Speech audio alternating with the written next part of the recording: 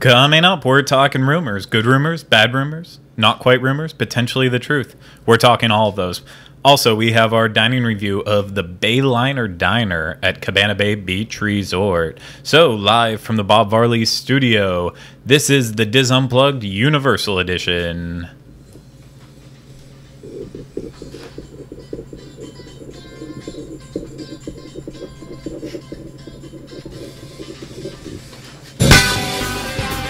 This is episode 42 of the DIS Unplugged Universal Edition. Edition.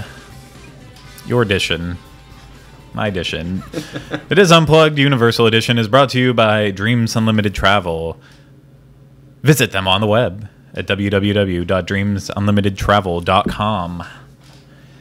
Hey everyone, welcome to another episode of the DIS Unplugged Universal Edition. I am your host, Craig Williams, and I am joined uh, with some other people, most notably, well, not most notably, but also notably, uh, Rhino Clavin. Hello. Ryan, Rhino Clavin.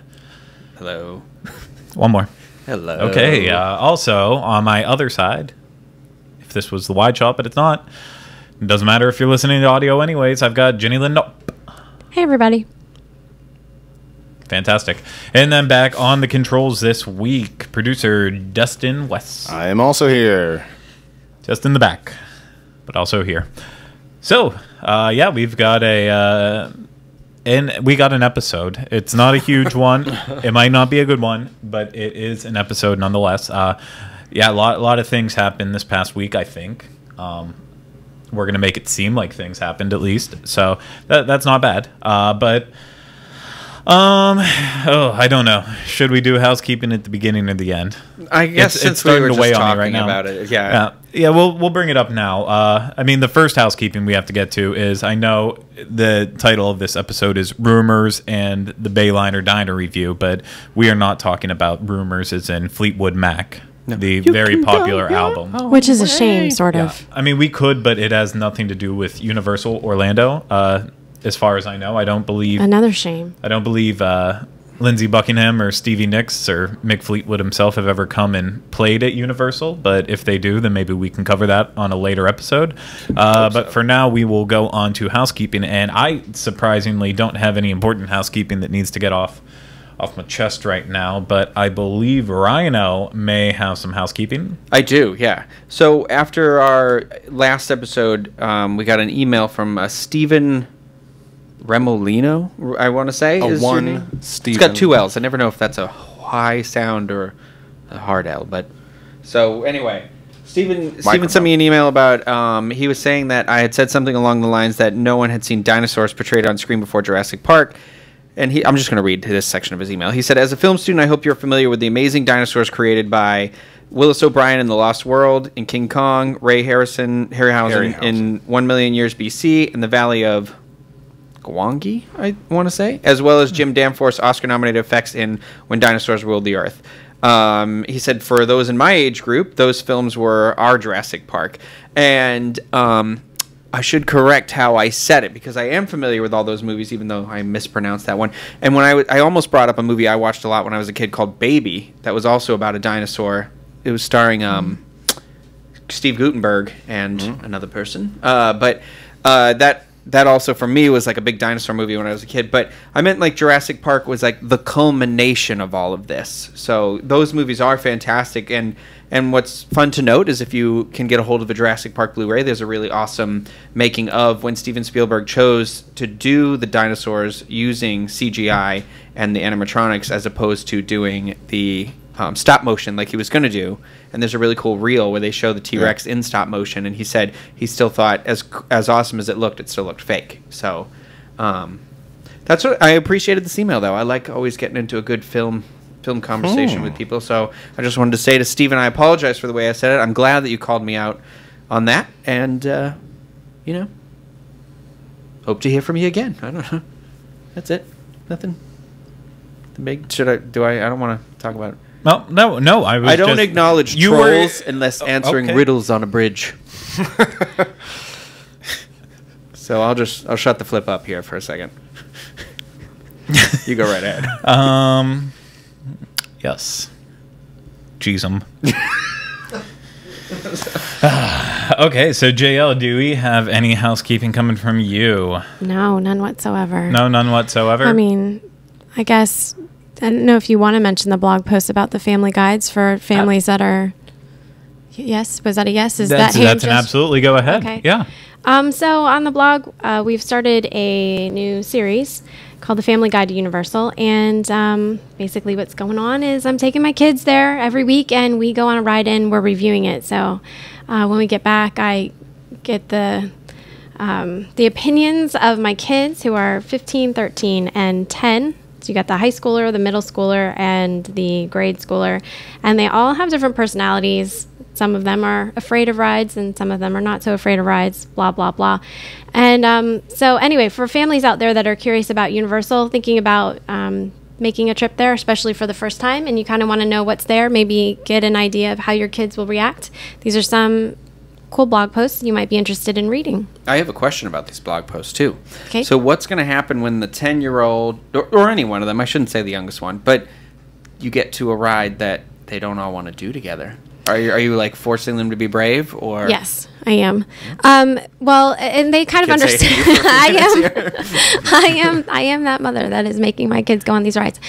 Um, luckily, the ten-year-old is the one that is gung ho about everything. Her favorite ride is Rip Ride Rocket. Wow. The fifteen-year-old is the one that's chicken, and who I have to use measures like bribing and such to go on the more have you done? You haven't reviewed. Rip Ride Rocket yet, though, right? I have not, and my 15 year old has never ridden it because she's never Ooh. been willing to do it before. So, um, but she is. She knows she's that day is coming. I'm she's curious going what to the ride bribe's it. going to be to get her on. We will one. see. We will see how it goes. And if you guys want to know how it goes, then keep up with that blog series. You can find it at universal.wdwinfo.com. There'll be one going up every week. Yeah, uh, usually on Wednesdays for the most part. They're fantastic blogs. You've been doing a out out of this world job on them. I think it actually does show off a nice range of every single person in your family, essentially. Well, of course, because it is every person in your family, but in the typical family. Everyone's personality almost comes out of it in those posts. So I think for Yeah. anyone who is very unfamiliar, thinks that Universal's all just thrill rides. Uh, yeah, there are a lot, but even then, it's good for different levels. So I think they're absolutely wonderful blogs for Thank that. you. So everyone, I urge you to go out and actually read them. And uh, yeah. So far, we, I guess it was last week, we posted Revenge of the Mummy. Mm-hmm. And then yesterday, posted Men in Black Alien Yep. Attack. Next week will be uh, Bilge Rat Barges. Popeye and Bluto. So uh, no, they're they're absolutely wonderful. Keep an eye out for them. They'll also be in the show notes, and of course, the show notes are found at I, I forget. It's right there. Oh, disunplug.com. Yes, that's Where where our show notes are. uh, yeah, you'll you'll go on disunplug.com and uh, find the blue universal icon, and that's where that. And I'll get to more of that housekeeping. See, Rhino, I thought you were going to ask JL what happens once like her ten year old uh, moves out of that range and then into tweendom, and we lose that demographic. She has what to, happens uh, then? Then I She has have to to, give birth again and yeah, she has to start all birth a new new being. yeah. That's something. Stay tuned. Okay. I said being too. No. I, didn't, I mean, that, that was just a random thought. So if anyone else has any opinions, be sure to uh, send us an email at uopodcast at disunplug.com. thoughts on JL birthing another child, or thoughts on what? Just period in general. Oh, Let's well, go in ahead. general. We're going to say in general. Um, don't want to get things a little too graphic. So, with that, we don't really necessarily have a, a buzz episode for you. That was kind of last week that we did that. But we are going to talk about some of the rumors that have been popping up real, real briefly this week. Um, and by rumors, some of them have a little bit more weight than others, and uh, but we're, we're just going to jump in. And the first one I'm going to go with uh, because it's one of the first things we talked about on our first show that we ever did coming back this year, and that was uh, the Garden of Allah, that whole area, yeah. and what the developments are. And of course, way back when we expressed our wishes that it would hopefully become a museum, right? universal Yeah. type museum where you could relive Universal Orlando history, the past, the present, potentially the future, all that, this, that, and above. And I know Future. the, the future. I know a lot of people uh, have been really hoping that that would be a solution for that space because it is a perfect area for it, in my opinion. And right now, we're still not quite sure. I mean, there are definitely uh, leads to where it's going to be. So, on one of the uh, construction permits a while back that was filed, something on the permit led it to believe that it would be an NBC Universal Media Lab. So, you What ask does that mean? I- What I- on earth is a exactly, media I'm not lab? really sure what that is. So, from what I understand, the Comcast NBC Universal Media Lab is a department up in New Jersey, from what I know, that is basically a test center almost for everything that NBC Universal and Comcast is working out. So, employees can go and check out like what is actually happening with some of the latest and greatest So- things happening with the entire company wide spectrum. And so the way I would take that into be if is, if something like this was coming to uh, Universal Orlando, would this be an exclusive area only for people that work for the company in a same similar sense as like at Epcot, you have the people who sponsor the pavilions like Chevrolet or back when it was GM and I know GM employees can still get up into test track and they can all use their exclusive lounge up there. Yep. Could Oh, this didn't know there be a- that's cool. Oh, and there's one in Living Sea, Spaceship Mission- Earth, I think Siemens. there's one in all of them. yeah, there's one in all of them. Mission Space has the HP one. It's pretty cool. Yeah. No, they're all cool. So They're maritime sailors. exactly. Uh, stories. Uh, so yeah, so that was kind of the inkling of it's going to turn into this this media uh, type facility, and then earlier this week it was it kind of made its rounds on Twitter, and then actually one of our uh, one of our ingesters. Our listener or a love view. I don't know if he's a listener or a viewer. He didn't say what he was, but he definitely ingests our show. You could say consumer, and I'd be much happier. Yeah, I'd feel much more comfortable. I'll, I'll let the uh, I'll let iTunes to decide if ingester is a bad word or not. When he looks at But- his, uh, oh no, I'm not going to do it. I'm not going to do it. I'm gonna say it's Anthony H. He actually sent us a video of uh, something or a picture of what I've already seen before, and I'm sorry I didn't have time to plug it in, and I didn't want to use anyone else's picture without getting permission. So I will make sure it's in the show notes page with credit to Anthony. But uh, outside the Gardens of Allah buildings, on one of the buildings, uh, you can now see the NBC uh, Peacock logo, and then right below it says Media Center. Okay. So that would start to lead the idea that maybe this is actually happening with that. But then another person on Twitter, and I believe it was reported on by Theme Park News. There's so many people out there uh, that someone also noticed backstage in that same area where there was a wait time sign, as well as an express sign and a standby sign. So now that adds on another confusing level to is this going to be something exclusively for employees to come and hang out as a center like that or is this going to be like a media center experience where you get to see the stuff they're working on and why would they expect people to ever have to wait in line for this We're getting an express pass. What's the name Yeah. of the thing in in uh, California that we did that had like the DeLorean in it? That was the NBC Universal Experience, experience right? yes Because that's what that's what I would think that this might be, but I mean, You'd be I guess wrong. not. Yeah, and I mean, there's no sign that this has anything to do with Universal there, though. This is uh, clearly an NBC media center. So, Well, let me ask you this: Does the does Universal Orlando have any of those types of things, like uh, employee type lounges or company lounges like that, to begin with? Um, at all? no, there are ones that there are lounges that they use for employees for work functions, Okay. stuff that they need for what? I said for like break rooms. Uh, no, I mean everyone has their Is own break separate? room. Okay. Yeah, everyone has their own break room, but they do have ones if they need like a private party, something like that. They have them available to use. Uh, they all they do also have like the um, the American Express lounges. if you're an yeah. American Express holder and uh, if you buy your tickets all that way, you get all those extra perks. And a perk is also being able to use the American Express lounge. And sometimes for like the holiday parade, they do American Express uh, reserve viewing spots. So as far as I know, they have that, but I've never heard of a specific Comcast Universal specialty section. If that ever happened, that just went way over my head. And I mean, for the average park guest, it wouldn't matter. But with this being such a prevalent section of the park uh, in that Hollywood section, especially a lot of people used it as a nice shortcut into Kid Zone without walking all the way around. Uh, it's a big deal, whatever goes in there, if there's if it's cutting off access to to shortcuts and all that. So, still no idea what's going to happen, but I I hope at the end of the day it's something for all guests to enjoy Yeah, and not just a select group. I mean, if you're a Comcast employee, you're already rolling in dough. You don't need a special little center. Your to- movie just made a billion dollars. yeah. You you've had two of the biggest movies of the year so far.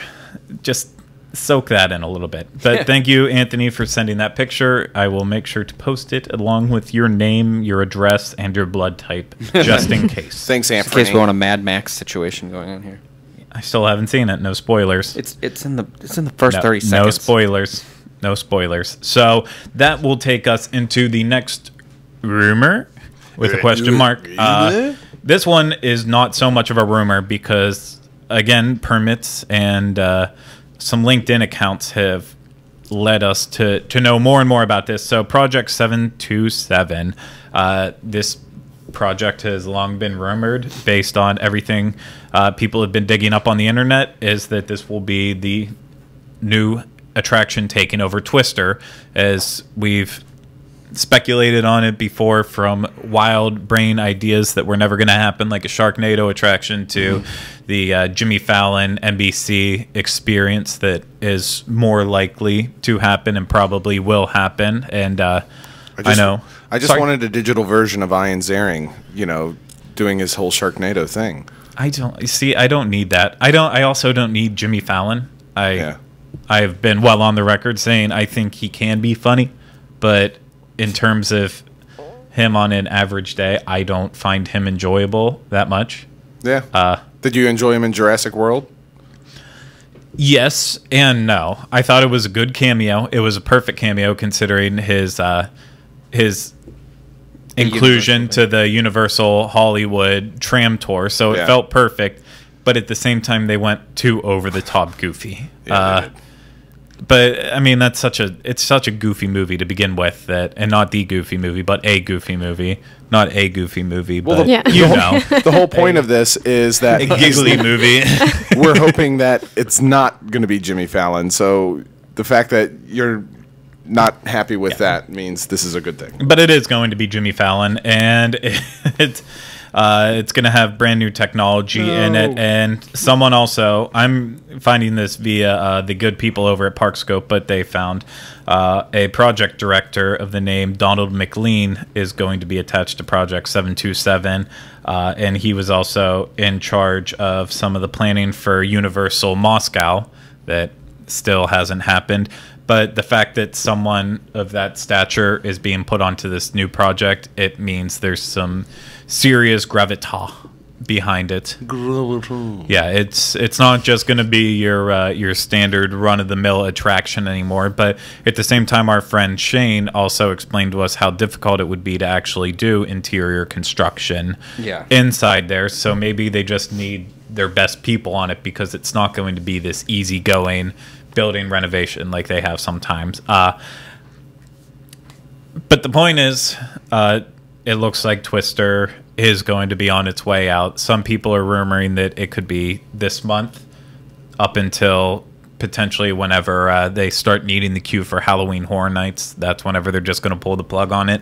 But I would urge everyone to get over and experience Twister while they still can, Before it because extinct. it is the best ride at Universal. Before it it's is- not a ride. Before it Walk is through attraction. turned into a category zero. What what would that be on the Fujita scale? Fujita scale. I'm trying to think of a clever line from that movie to use right now. I'm too wrapped up in the film right now. Little Helen Hunt. I don't know. I'm We'll get it. Keep keep it simmering on the back burner. Like that steak and eggs that that old lady made for them. in, Wi- in Wichita, Kansas. If it's got to be a dusty line from it, then that's also fine. God rest his soul. Rest his soul, Philip Seymour Hoffman. yeah. One of his best roles ever. And Cameron from uh, from Yeah. uh, Ferris Bueller's Day Off. Exactly, That's and also right. Spin City. Yeah, He wasn't That's Spin true. City.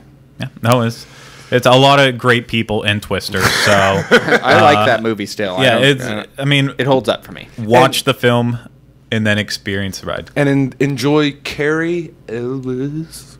Use Elwes. Who gets a fitting end in Yes, he's the, the bad film as well. Uh, and then after you're done with that, of course, we've got to do our weekly plug to Congo. Get out there and watch Congo. It's uh, Netflix numbers are You know rising. what would go great with watching Congo? Just What? a good, nice big helping of sesame cake. sesame cake. I can't do this every week. I Yep, can't every week. doing the- It's Stop eating my sesame cake. it's become a thing. I'm we'll gonna buy us either a sesame cake. we'll just so I either can start lose- yelling at people. we're either going to lose ingesters over it or we're going to gain some. I need don't pictures. know what's going to I need, happen. I need like a T-shirt now with my face Ab and sesame cake and ab like, stop eating and sesame- jesters and sesame cake. That's our, Okay. Awesome. Because we never got onto that last week with the Jurassic World uh, Buzz show. So before we get to our final rumor, we have to also bring that up about the Absatch appearance in Jurassic World. Oh, yes. Oh yeah, That it was place- a nice leather absatch too. It was a nice leather Absatch that carried around matches. Nothing much else but matches. Yeah, how they let that kid in that park in the jungle with matches is beyond me. Like nobody checked his bag. Nobody's like, "Sir, you don't need matches here." And if that just ruins something for you at this point, my God, Jurassic World has been out for almost two weeks.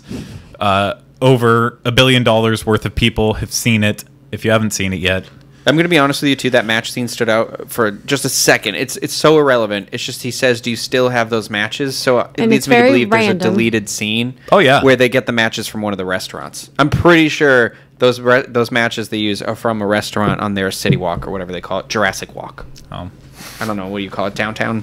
I didn't see Downtown any Dino? matches at Margaritaville the last time I was there, but Downtown Dino Town. yeah, downtown Dino Town, downtown Dino Town. All right. Let's, but yes, everyone, we did see the Absatch. We know about the Absatch. Guys, check out my Twitter. I'm gonna I'm gonna show you the Absatch store I saw while I was in Puerto Rico. I took a picture of it. I'm waiting waiting for the appropriate time to reveal it. Fantastic. so our third and final one, uh, this past week was the brand o- brand Brand the opening? brand The brand the opening. grand opening of the brand. There we go. I pulled it back around. All right. Uh, the brand new Fast and Furious Supercharged at Universal Studios Hollywood, and uh, it was a big star-studded appearance. Something that none of us were there for uh, because we live in Orlando and.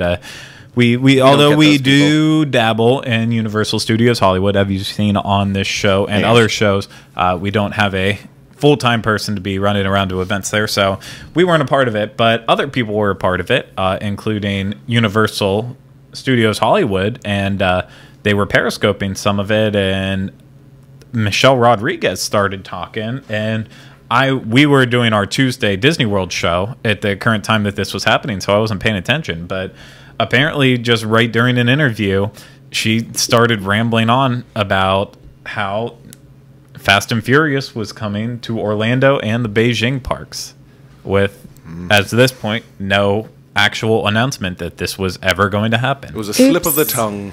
a slip of the tongue, a bad slip of the tongue. Um, Michelle Rodriguez, she can just not keep her act together. so Poor young lady. And this, this I wanted to bring it around into several ways because a Fast and Furious, as we already even mentioned on this show, not by name but by association, that it was Universal's second biggest movie of this year. Uh, a very whopping, phenomenal success. People are in love with the Fast and Furious franchise, and I don't think there's enough doctors out there in the world to try to figure out why people like Fast and Furious. But one day there will be, I'm sure. I mean, I know The Rock. Everyone loves The Rock. And Vin Diesel, he could act his way out of shoebox, I'm sure. But, a uh, deep voice as he does it. I'm in the shoebox. I can't even do it. I mean, Give me a pack of cigarettes and I'll try again. okay, we'll be back with that in minutes. Uh, Was Paul Walker in this one, or was, is This this was this, his was his last- last was his one? last okay, I couldn't. I'm I think not- that also I've gave it a clearly little- not seen. A little boost. so the ride opens up in Universal Studios Hollywood and as part of the studio tram tour.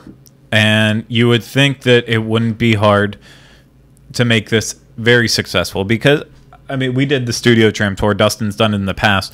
Uh, everything on the tram tour is pretty phenomenal as far as it goes. Kong 360, the Amity Jaws section, the Psycho section, uh, going back to Earthquake. the pee, jumping out and peeing wherever Yeah. you want section. Yeah, ladies. I think that was jumping out just to pee special the on our tour. War of the Worlds part was Exactly. amazing. I I actually think that was like I, I told you when I met Thor. If anyone doesn't know, I met Thor when I was. We all know about it. But um, Keep going. I he asked me like, what was the what was your favorite thing you've done on this trip so far? And my first knee jerk reaction was. The Universal Tram Tour, and I was like, "Oh, I'm at Disneyland. I can't say that." So it stuck with me. That one stuck Yep. with me the most. You know? And it's nice to add on another section, extend the tour time just a little bit. Yeah. Uh, but I, I know I told JL to maybe watch the video. Which did you I end did. up watching I it? did. I Have did. you watched video of Supercharged yet? I didn't know there. wa- I didn't know we had a video yet. We we don't have a video, but other people do that live out there. Oh, I haven't. No, I haven't looked it up. yet. And I have a very strong opinion about it. I don't.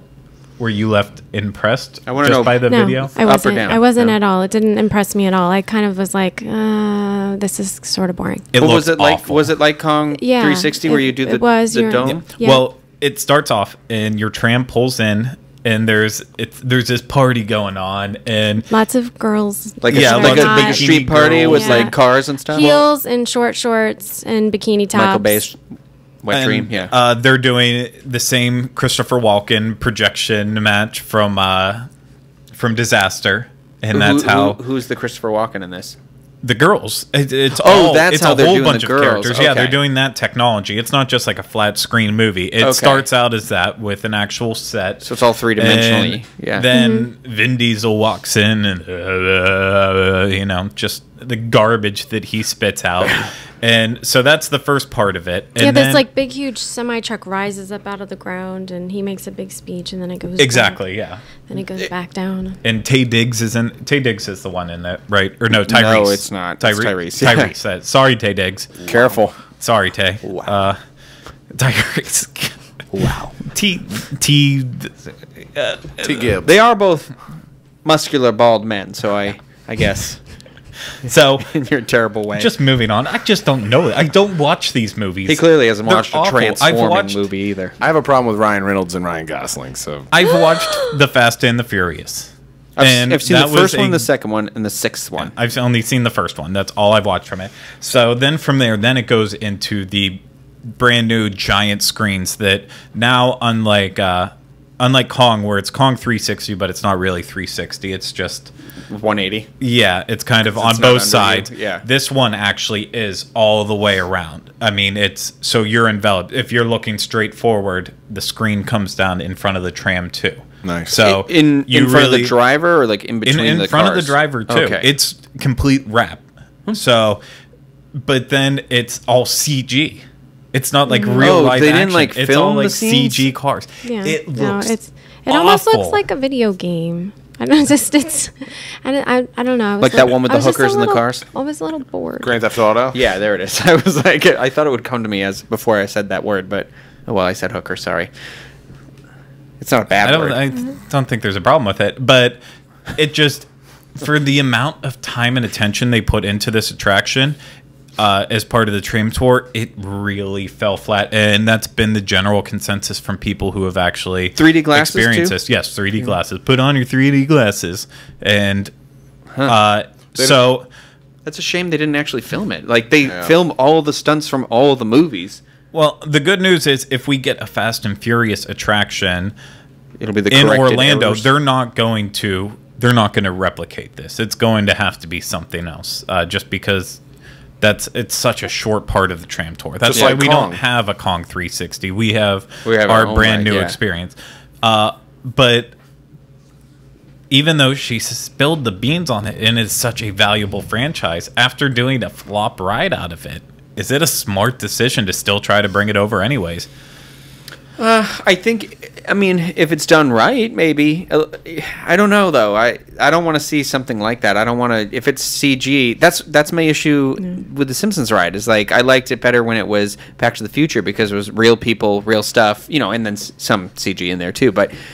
uh, The, but then when it was The Simpsons, the cartoon aspect of it, like my mind disconnects, so it makes me more nauseous that way. Yeah, definitely. Yep. Um, so I worry that if they're going to do a projected thing like that, then it's going to have that effect too. I don't Yeah, know. I, I mean, I'll, I'll wait to reserve my full full judgment once we are there and get to experience the next time uh, we have that opportunity. But it really makes me nervous if they're trying to bring over this franchise Well- into our parks now. They haven't flopped anything yet. I was we were nervous about what is there something we've been nervous about? No, I'm like maybe not. Um, No, you're nervous about everything. I mean, Diagon Alley was amazing. Transformers was amazing. Is it's very well done for just the little square it is. Despicable like the- Me was a big hit. D- yeah, just, they did a good job with Despicable Me, and then the Simpsons area. I still every time I go in there, I'll talk about the Simpsons area. I but know. like, so my hope is, or Universal Florida is going to be the like, here's the best place. Here's the gem that we made. You know, here's the diamond. Well, everyone always hits a road bump at some point in time.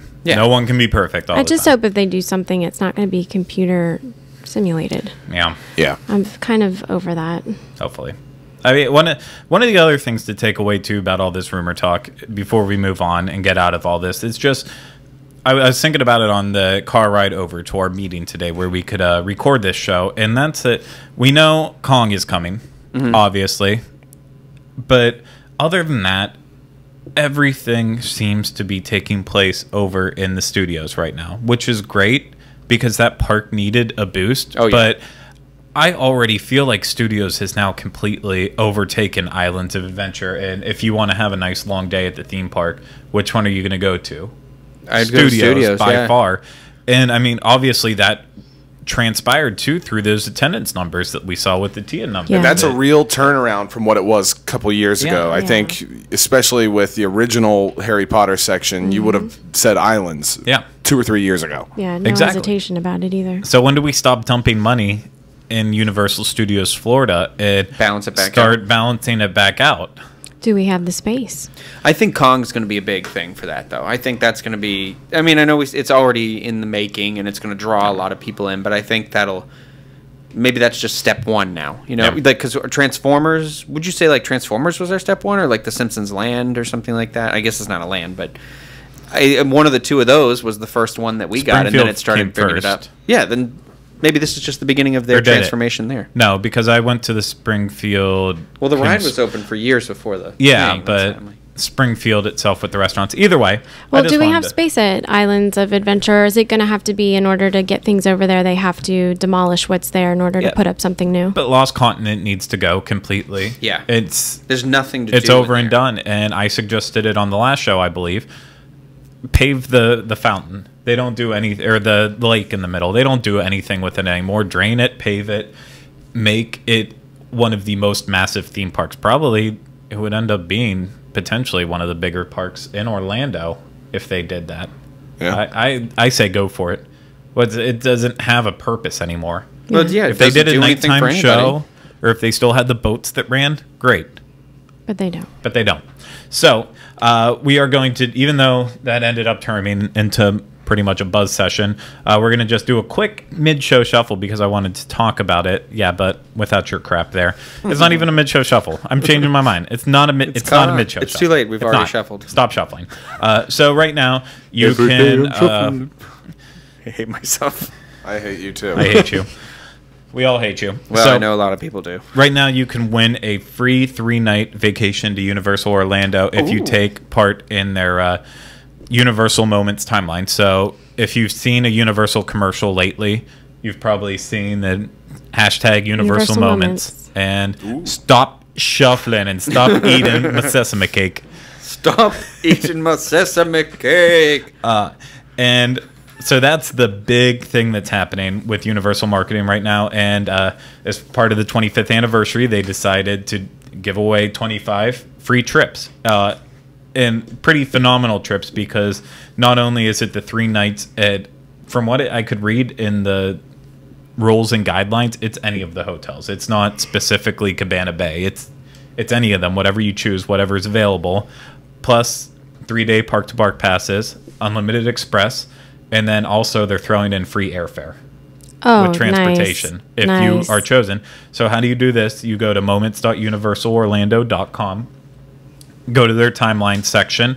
It'll give you a place to add photos. Uh, where, of course, if you're over 18, then you're allowed to add photos and you're automatically entered into the contest. Or, as I wrote in the uh, the news story about it, if you are afraid of photographic power of stealing souls, uh, because there are people out there who do believe that. Uh, then you can also do mail-in it so entries. respectfully. It is. So I just wanted to briefly mention it before we move into our review because I mean a lot of people would love a free vacation and it's a fun way because once everyone adds into this timeline which it, it covers each year you can upload a photo for it. So if you have pictures from from when I day. was a kid. 1990 or Yeah. 1992 that you know we don't really see those photos anymore if you have those scan them upload them it becomes part of the timeline and then all of a sudden that's anyone can see that see the park from that time period I've got some It's- Ghostbuster stuff That's cool. so the show. I specifically. And they you can do this every single day, Yeah, right? you can do it once a a day. new entry once a day. and it ends July 31st. So I will have a link to that blog post so you can read more about it in the show notes page, disunplugged.com, and uh, that's where you'll find all the information on it. And uh, do that all on your own. If you're eligible to enter, you might as well. That's I- a good i- cause. i- Is, there like a restriction where like I could probably enter because I'm not related to anybody that works at Universal or NBC or Comcast Yeah. or whatever, but no, you one can't. per household. No, he's I asking c- if there's Oh, restrictions on people who work Yeah, for the no, park it's, and it's a standard contest. If but could you? I'm saying like, can you do this entry? no, I can't. Okay. No, I'm not eligible to win. Okay. It would be the same way you're not eligible blah, blah, blah, For a blah, Disney for a one. Disney one. Yeah, okay. So let's cut the crap and let's let's cut the garbage and let's move into what these people came here to hear about. Well, they didn't really know what was happening on the show anyway, so they didn't necessarily come here to hear about this, but they're going to hear about it. It's what's important. Uh, and it is our dining review of Bayliner Diner Food. the the quintessential dining experience at Cabana Bay Beach Resort. Mm-hmm. So let's get into the jiggly with it. what? That's all does that even mean? Where did Don't that? Well, you know, let's let's get into the fat with it. Let's Just get into the Scooby-Doo jiggly. laughed. I don't know why I said that. That was Getting kind jiggy with it. of amazing na, and na, on a na. very Way weird level. You know, keep adding it to the uh, Craig only dictionary. We need we need to take note of Craig these. We need Scenario. like a Google document with a, these things listed on them. It's awful. He's just a regular Joe. so, if you are at Cabana Bay Beach Resort, maybe not necessarily staying there, but just going over, if you are staying there, that's great too. You have lots of dining options, in my opinion. All of them are kind of quick service in a sense. So, Bayliner Diner is the one we're talking about, uh, and that is the the the main place to eat Thank at you. Cabana Bay. Yes. It's a food court. Yeah. Quick service, but it's got six different stations and um, yeah, lots of different options. It's all you can get kind of whatever you are in the mood for there. And then in addition to that, it's got the um, little side place where you can get snacks and s'mores kits and Exactly. So yeah, Bayliner Diner obviously falls into the same level as the rest of the resort, that it's that late '50s, early '60s. Uh, that whole theme and attitude of it. Obviously, uh, there wasn't a lot of necessarily uh, motels that had giant food courts like this back in that day, but it keeps that motif that's moving around. Uh, it does. I, I know of, oftentimes Mad Men gets dropped in when talking about Cabana Bay because Universal Creative even admitted that that was part of it. You also referenced another uh, form of media in your review that you Uh, wrote that I really yeah. liked. Okay, so I I, mentioned remember. a couple of them. Um, the first one was it always Cabana Bay always reminds me of Catch Me If You Can That's it. Yeah. uh, with Leonardo DiCaprio, and specifically there's a scene in the movie. He's in Atlanta, Georgia, although I think Cabana Bay leans more towards South Florida, Miami. Um, But there's like a little party scene before Carl, Carl Hanratty comes into um, Oh, it's no, it's before he becomes a doctor. Anyway, that none of that matters. Um, there's a party scene, and people are like at the pool and they're lounging and they're throwing beach balls around, and uh, British invasion music's playing. And I always, uh, I don't know, I just kind of feel like it's got that vibe. yeah. What's No, that I Elvis absolutely agree. Beach movie with Angela Lansbury? Blue Hawaii. Yeah. That's what. Well, I don't know if I'm in the right realm. That's what the that's what the pool area reminded me. That of. was hmm. actually on opening night of the Cabana Bay courtyard area. Whenever the hotel first up, that was the dive-in movie that they showed Oh. that night. See, so I guess I'm not far off. So- Like, but that's neither here nor there because we're going back to Bayliner Diner. So that gives you an idea of the feel of the hotel if you still haven't got it yet, and you're going to be out. getting to know more about that hotel even sooner coming up here. Uh, Because we're about ready to start releasing our Universal Land Sea Wink, wink, nudge, nudge. stuff. Uh, so maybe, maybe not. I don't know the actual date. I guess I can't really tease it if I don't know the date. It's, it's but happening TBD, soon. guys. It's coming. TBD. Well, no, it's already determined. I just don't have the exact date that it starts. TBA. So To announced, guys. Right in front of us. Going back to the atmosphere of it, Yes, I think one you. of the things is um, I think that helps it along is it's got these huge uh, TV screens on the upper level of the, the food court area where you're sitting, and it's just it plays all these nostalgic advertisements and I even love a those. few. I, they're they're really kind of I cute. just sta- sat and like, And, stared at uh, them the whole time. uh, fascinating, especially what the way that women are portrayed. Um, The potato chip commercial was my favorite because it was like potato chips were new and nobody knew what they were. So the commercial like explains what they are, and then it's like, how do you eat them? And it's just this really funny commercial. Uh, I mean, that whole seating area is just really cool to sit mind-blowingly big. Uh, there's It's- no photo that can really do that entire Mm. area justice. And I know that's a big problem with a lot of these hotels that have food court style restaurants because you know it's busy and crowded where everyone's getting their food, and then all of a sudden you go to find a seat, you can't find a seat for the whole family. Mm-hmm. Everyone has to start splitting up. There's crap left on all the tables. You're not going to have that problem here. No, no way at all. So let's um, let's talk about the cleanliness of this area. So half, I would say, for most of the day, unless we're talking summer peak and this hotel is busy all the time, half of the entire eating area will be closed off. So they'll only have like the upper section open, and then they'll have the lower section roped off so that way you know for dinner service then they can open that up and then clean the entire area. So they keep this process uh, they keep it going very well. Also uh, even though they urge you to bring your food and trays up they do have roamers walking around collecting collecting your food with you and putting it away uh, which is a very very nice touch something It that is. doesn't Okay. need to happen but You know, and I, I learned occasionally they'll come and clear your table if they see that you're done and you're just sitting there. They don't even, you know, they don't even necessarily wait for you to get up. And it's just, it's kind of cool. it adds that nice touch of this isn't necessarily your normal food court. This is almost bordering into a table service. Yeah. And another thing that also really uh, takes that over the edge is for dinner service, not for lunch or breakfast, but for dinner service, they have real metal silverware that you can actually use, uh, which doesn't sound like much, but unless you've gone to uh, Disney and you're trying to cut open a kibasi with a With a plastic, plastic- fork and knife, and I then it kielbasa. melts and bends and I mean this this is something that happens all the time. It just there's some meals you cannot eat with plastic Yeah. I materials. got a steak with it. Well, and uh, I mean, whenever we get to the food, that's that was part of my complaint with mine is that I couldn't really cut it with the plastic. Uh, so, uh, yeah, actual silverware, very very nice touch. Uh, I think something that's also pretty cool is the freestyle Coke machines, Yep, which is not necessarily common in quick services. yep, Um, they also have the um, the slushy machine. Yes. And they're for ices, which I love. I think that's so exciting. can you do that in your freestyle cup? Well, they don't have a freestyle cup per se, but they do have the uh, the The cups. Yeah, their souvenir mug there that's refillable themed like the giant mural at the back of the Bayliner Diner uh, Put it in there. food court area. They're awesome cups. I have. I have the Christmas one and I have the regular edition. That's how much I love the design on them.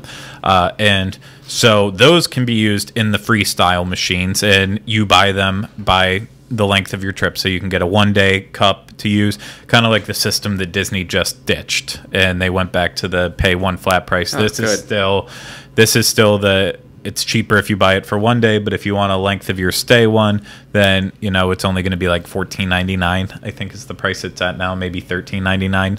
Uh, I should have researched that part, but uh, either way, you can use those for the freestyle machines. You can also buy regular cups as you go if you just want a soda, but you can't use that in the freestyle. You can only use that in the fountains that they have there. But they have a nice selection in the fountains too, so don't don't go get your panties in a bunch. There's lots of options. Of course, there's always the the healthiest option, water. Water. Drink water every day. Hydrate, guys. It's Florida. Eight and eight. Oh, eight eight bottles a day. Eight. Uh, eight cups. Oh, eight cups. a day. Eight Yeah. cups of eight ounces. I will be drowning. So, uh, do we have any other real things you already mentioned that the you can buy the s'mores kits there? Mm-hmm. Um, so if you're doing the camp out late at night where they have the fires They outside of each two section, open, is it Yeah. two open fire pits in each of the courtyards, I believe, and Yes. they're very popular in the evenings. You see, you know, grandmas and kids and parents. it's a good and place to bring the guitar and sing "Kumbaya." I, one night, one night when I was out there, the people were if you do that. people were playing cards out there by the fire pit. I don't know. It's just a really cool experience, and the um, you know, of course, the s'mores were very popular. Yeah, no, that's the easiest way to get out of a bad hand. Just It's- throw it in the fire. You know what? It's also Oh, the, I fell in my cards. it's also the place where you can buy um, special dietary items. yes. They have like the the gluten free snacks and um, little vegan things that you can buy. So if you have those needs, um, Bayliner Diner, um, the the snack area is where you're going to find those. yes. When I was filming that video, I ducked in and, ha- and got like a. It was a good trail mix, a banana, whatever stuff on the go you can just grab. That and it wasn't that expensive either. Yep. No, uh, pricing's cheap.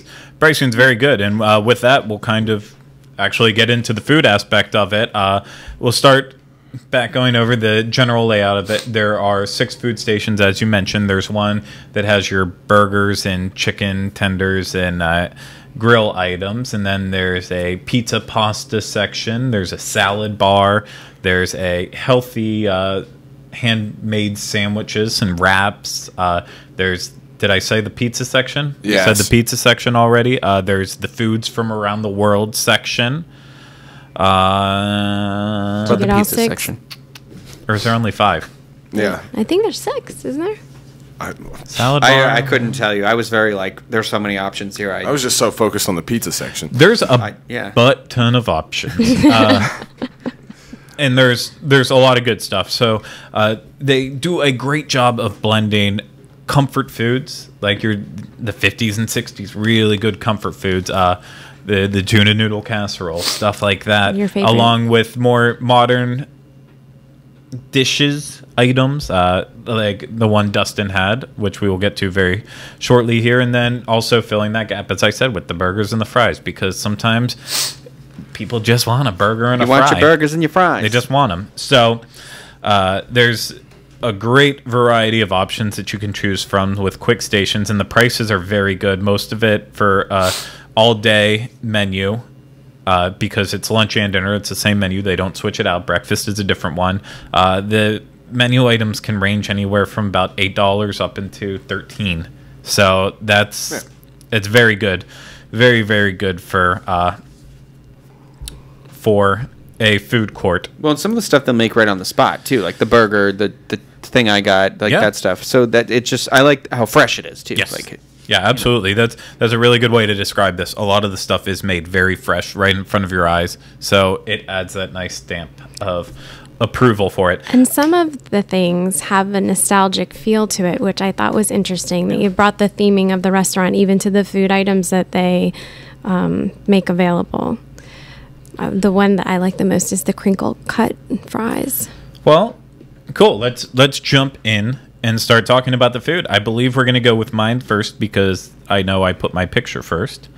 Um, I'll get me out of the way. Let- Let's, let's be honest. I've already talked enough, so I'll talk and then we can just move on for me. So I had the Brazilian beef churrasco. Churras. I, I Churrasco? Churrasco. Thank you. Uh, so yeah, this is a uh, flat iron steak that's marinated, served with chimichurri rice and black beans. Um, so this has been something that I've always wanted to get at Cabana Bay at the Bayliner Diner. Um, the the one time I tried to get it before while I was there, it would have been like a 15 20 minute wait because I had to start cooking the beef fresh again and which is nice but I didn't want to wait 15 or 20 minutes when I'm ready to eat I'm ready to When eat you want your beef, you want it. when I want my beef, I want my beef. And this time I really wanted my beef. This is, I believe, the most expensive item you can get there, which is 13. Uh, portion size is fantastic. Uh, you know, there's there could probably be for a person of my size and stature for your listeners out there i'm fat. Uh, for those who are watching video you can see my double chin so it's pretty He's clear. not that big. Uh, that'll be the thumbnail. That's not going to be the thumbnail no one will watch it. Uh, so uh, yeah I, I could have used more beef because i would rather have the protein than the two healthy scoops of rice and the black beans those are fantastic uh, but overall And you got the chimichurri sauce. yeah, and the chimichurri sauce. love So how chimichurri did I feel about mine? Well, my beef was overcooked for my taste. I asked for it rare, It looks like and it. it was not rare. it was well. You had it a was, beef with your beef. Yeah, I had a beef with my beef. My my beef was well done, and that's sad because I they know I asked for it that way, and it just they dropped the ball. And I was watching other people get theirs, and it was cooked perfectly. and Oh, every time. I've been there, I've seen it cooked perfectly to how people want it. So that's why I've always wanted to try this. Uh, mine was bad, and then obviously by the time we got done taking pictures of all this crap, then it was cold. But that was my fault. Would you I try to just get it- it quicker? Would you try to get it again, or would you just say it was Oh, bad enough that you were like, well, and that's where you can I can save it because the chimichurri sauce had a great flavor. It was slightly spicy, uh, not not overly spicy, but I, I would say that was that was the saving grace of the fact that the beef was not cooked well and it was very hard to cut with the knife. That that had that nice chimichurri sauce with it and black beans and rice. I I could eat that for every meal of the day. I love black beans and rice. So overall, I would say my dish that I was served I wouldn't give it a good grade. But if this dish is done well, which I think is most of the time, then uh, I, I would definitely recommend it for people to try. yeah, okay, Um, and then Pete was with us whenever we did this review. So I'm going to talk about his briefly too. Sorry, I got your hopes up that I was going to stop talking, but I didn't. Uh, Pete got a classic tuna salad sandwich. Uh, you can't get much more uh, just easy going than a tuna salad sandwich. This one looked phenomenal. It was served on like a multi-grain croissant uh, with nice spinach leaves inside and a little bit of tomatoes, and then so it came with a, uh, a side of pasta salad and. Uh, Pete had to say about it that it was very good. It was a little onion heavy, um, and but the whole wheat croissant had an extremely fresh taste as well as everything. The pasta salad he said was absolutely amazing, which it's yeah, it looks It looks amazing. I am good. so hungry. yeah, I, Uh, I, my stomach's hurting me right now. Yeah, uh, Pete did say it was a little overpriced at eight ninety nine for it, but uh, it's other than that, he seemed to enjoy it. So that's good. And uh, moving on to the next person's food items, I think it is. Well, it's a veggie burger. It's a veggie burger. Well, that must mean it's our resident vegetarian. Sometimes. Jenny Lee- I was no. just gonna say she's the worst vegetarian. She'll go and order vegetarian sushi and then a double cheeseburger. Our It's, vegetarian. she's always fun Once to in go a to while. eat with. Keep you on your toes. JL. yeah, I do. I keep you on your toes. You never know what you're going to Yeah. expect, what you what you're going to get with me.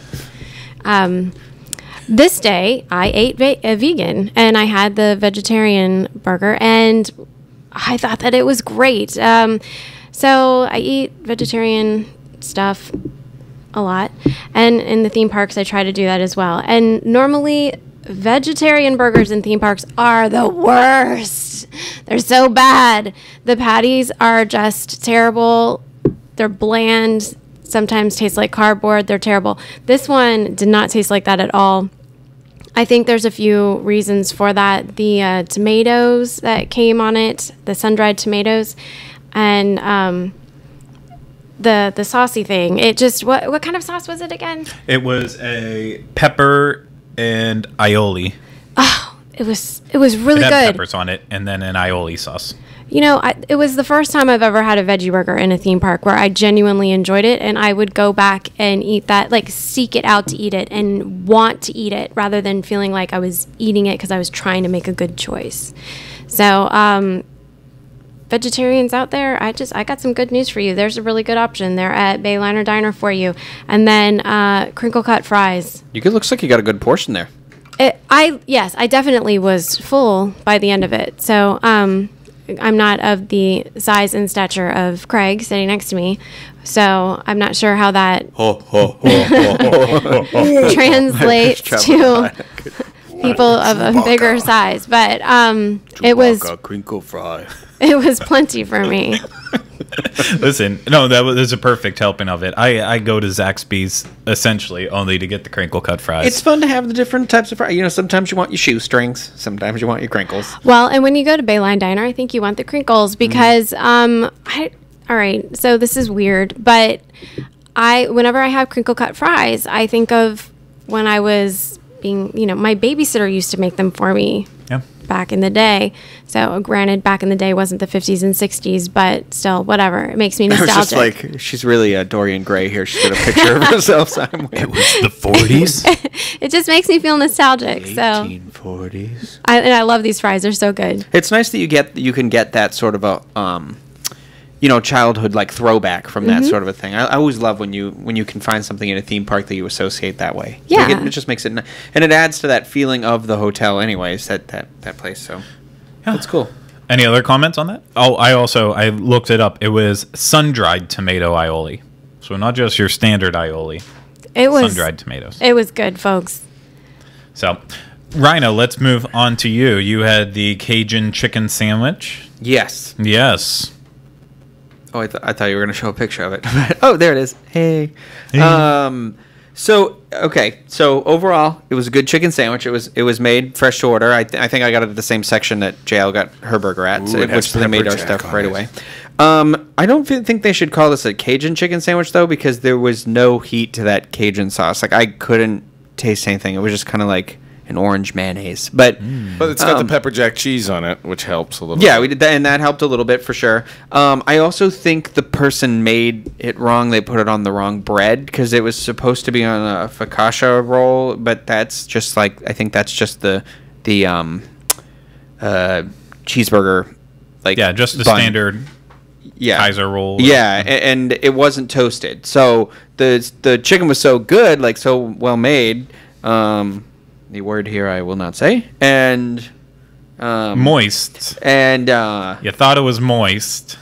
uh, but it, it soaked the bun because it wasn't toasted. So that was my only issue. So you kind of like had to, you, as you're getting through it, it started coming apart a little bit. But I would totally give this one another chance because I, it, it, it like I said, it was made fresh. It was a good piece of chicken.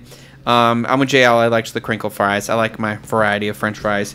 Um, I just wish there was something I could have added to it to give it that heat. I was kind of like mentally expecting, but Yeah, no, it's always a shame whenever you order something that's supposed to be spicy and then it Yeah. just doesn't end up that way. I know I get kind of irked about that too. So uh, then I wanted to close out with the food options uh, with the, in my opinion, the best thing you could ever get there anymore. Uh, and that's what Jackie had. Jackie, our community Admin? I don't know what exactly forg- her I, uh, title is. She's got a long title. She's our, our newest member of the DIS team. Jackie was there with us that weekend, and she went off my recommendation and ordered the classic tuna noodle casserole of Cabana Bay. Uh, so it looks so good. This tuna noodle casserole i growing up i used to hate tuna noodle casserole and i'm sure i've told this story on the show before so i apologize you're gonna have to grin and bear with it but i, I always hated it growing up i never really liked the idea of canned tuna uh, i know that I, I think from my memory i might have been hit in the head too many times but i'm pretty sure i always with a can of tuna. with with a can of tuna That was I'm- cut to, I imagine. I'm pretty sure I made my mom uh, pack my lunch on tuna noodle casserole day because I wasn't going to eat it. Uh, so then suddenly I had this, and I had to try it because everyone was raving about it whenever this hotel first opened up, and it just set my world on fire. in terms of my my delicatessen world. It is essentially just pasta with cheese, a lot of cheese. I'm talking in a dish that they make, they probably melted two bricks of cheese, if Wow. if that. It might be more, and then there is a good helping of tuna in there, so you still get that flavor. Uh, classic style with peas. Then they serve it with a breadstick and also uh, Parmesan cheese on top. If you didn't already have enough cheese, You don't. to describe how good this tuna noodle casserole is is just it, it's beyond me in words. First off the portion size is so large. I eat it in mm. one portion. This also is another thing that has contributed to my current status of weight is that i was eating these things in one portion. I would easily say based on making it trying to replicate it at home and looking at the health stats you're probably eating the equivalent of four portions if you're just making it for yourself at home. And that's it's unhealthy to begin with so then you're eating four times that. So you can only imagine. Uh, and they they will if it's a fresh batch that they just opened up and ready to serve they'll give you extra because it's a fresh batch There's nothing I want more in my life, and then this second in time is to be eating that picture. and if it is at the end of the dish and it's got that nice crispy part all around the edge, then they will make sure if, if it even looks like you might be able to get a portion and a half out of it instead of just being cheap and saying, "Oh, we'll put the next we'll put this with the next one and serve it first. They just fill up your portion even bigger. They are very generous with this stuff. I uh, it should be for people who love this dish or just comfort food, it should be like their mecca. They need to go out of their way to travel to Bayliner Diner and get some tuna noodle casserole. It is my favorite dish they have there now. Unfortunately, my second favorite dish, which used to be well, my favorite dish that is no longer there, was the Swedish meatballs. Bless you, bless you, sir. Uh, it was the Swedish meatballs, which were like six huge meatballs served over mashed potatoes uh, with broccoli and gravy, and it's so unhealthy again. But no, bless you, it's gonna be okay, sir. Uh, and it's just they they took that off and replaced it with this beef uh, beef stew in a bread bowl, and that's good. But it's just not Swedish meatballs. That's also like that's your IKEA 50s 60s comfort food, Uh, and God, I Can we end this? I'm hungry. Well, I was, Yeah, before we do, I I, was going drive to say weight you here. were talking Go about the portion size, and um, you know, I had my stay was at Cabana Bay during the Universal Land Sea, which was coming up anyway. So I've had quite a few meals at Bayliner Diner at this point. Um, one of the ones that I thought was um, good. They have a, a, a dinner entree, the lemon chicken, and um, it, it was good. It was very lemony though. So everyone out there, if you don't like lemon, you do not want to get this. It, it wasn't a hint of lemon. It was lemon chicken. Um, but the portion size of everything was so huge that I actually had to take some of it back to my room. But if you are staying at Bayliner Diner and you have one of the suites, you have that little. Staying at Cabana Bay.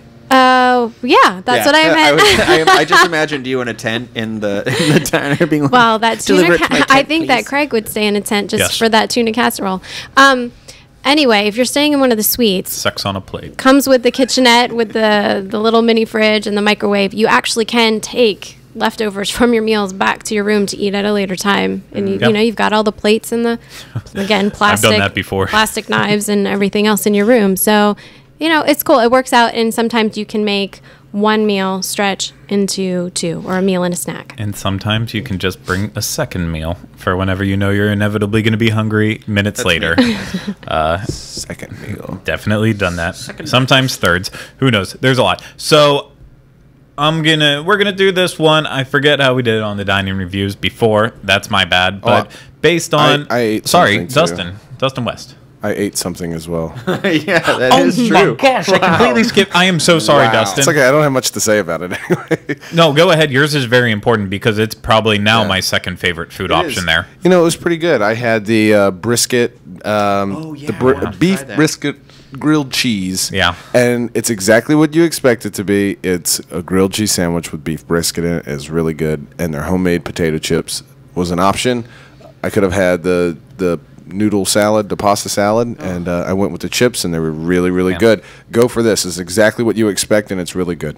Yeah, and another plus, I've had this uh, since we did that.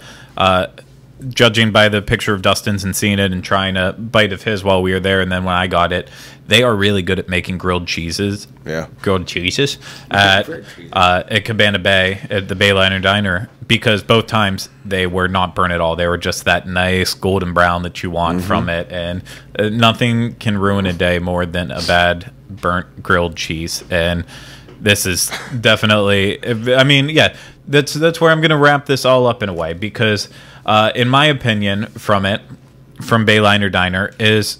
I would overall call this a very good option. Yeah. It's definitely not the finest dining. It's my personal favorite dining, I think, at all the hotels and maybe even the resort. I know it Wow, flip flops that's a around. big I love that tuna noodle casserole. I love that comfort food. Well, I'll tell you one thing right now. It beats any of the other Disney uh, food courts. Oh, Yeah, yes. like at the Disney resorts. absolutely, Absolutely. It's not an intimidating dining experience. Yeah. It's just you go there on your own. For the yeah, I go I go and I do the short term parking there and I walk in and I get food and I take it out to go. That's how much I love this place. Uh, the only reason I say it's good and not great is because up until this experience and then ones of late, I've never had I never had an issue with them in terms I was getting every single meal served flawlessly every time. The people who work there are extremely friendly and that still stands to this day, but sometimes the food is a little more wavering and to be a great restaurant, it needs to be served On par. It needs to be served on par every single time. And maybe I've just been there on bad times, but I don't want to tell someone that this is going to be great every single time whenever it hasn't been for me. So I'll say good, very good, right in that range. Uh, I go out of my way to do it. I would recommend too. What do you guys think? I think th- going to that hotel, if you're not staying there, I think it would just be cool just to go in and walk around. You can go upstairs and bowl for a little bit, and then go have lunch. Like it's a nice experience. Yeah. I think I'm gonna go and pick up my kids, and go eat at Baylor Yeah, I, for real. Um, it's not my favorite um, place to eat at Cabana Bay, but it is a great place Yep. to eat at Cabana Bay. No, I, I agree with that. Dustin, I, I- disagree, but I agree. Again, I said that I think this is the best food court that I've ever eaten at in terms of whether it be Universal or Disney uh, hotels, and I'm going to stick to that. I think it's good, and I think it's the best food court I've ever been to. So that that should tell you something right there. That is high praise. Uh, so definitely check it out. We will, uh, of course, have all those pictures of our food uh, up on our show notes page, disunplugged.com, for this week's show notes. And as I mentioned before, without a date, uh, this all is culminating. This was one of our first meals. Actually, it was our first meal as part of our Universal Land Sea. Yeah. So this is the first bit of material from it, and you will hear much more. You will hear and see it starting on July 6th. That's whenever we will be releasing all of that material. Five fun days of Universal Resorts and a Royal Caribbean cruise on the Enchantment of the Seas. So definitely keep an eye out for that. Remember to follow us on Facebook, Twitter, all the DIS and DIS Unplugged channels out there, Yeah, including the leave us, Universal uh, Edition. Fun comments on YouTube. Those are always welcome. Leave us comments on YouTube. We don't always take them well, and sometimes we get very bitter about it and uh, passive aggressive. But you know what? That's just the chance you take. Uh, I, I openly encourage it. If we can't tease each other, what can we do in life? Yes. Uh, just get along, I guess. So. I was gonna say love. Yep. Make sure you uh, subscribe to us on iTunes as well as YouTube. Uh, if you're not subscribed to us already on there, leave us comments, ratings, reviews, all of that stuff. We love your feedback. We appreciate everything you do for us. And on that note, that is going to do it with this edition of the DIS Unplugged Universal Edition. Dustin, cue that music. We will see you next time with another episode. But until then, shut the flip up is universal. see you, everyone.